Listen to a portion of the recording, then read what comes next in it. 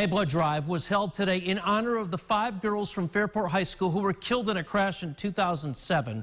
The crash happened less than a week after Hannah Congdon, Bailey Goodman, Meredith McClure, Sarah Monette, and Katie Shirley graduated. The blood drive has been held for the last seven years as a way to remember their generous and giving spirits and to give hope to others.